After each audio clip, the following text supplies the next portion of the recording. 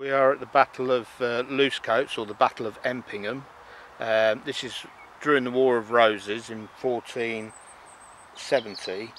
Uh, Edward's forces met Warwick the Kingmaker and uh, the Duke of Clarence forces. Um, this basically is the battlefield um, and it runs down down that hedgerow is where it's marked that Karen's pointing at at the moment and if she points to her right in the distance there you can see what's called Bloody Oaks Wood. And that's where the Lancastrian forces ran apparently dropping their uh, coats. That's why it was called the Battle of Losecoats. And then fleeing.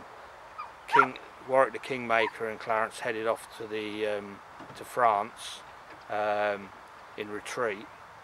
Um, Edward was victorious along with Richard III who at the time was just Richard um, Edward's brother. And Quinn is barking away in the car.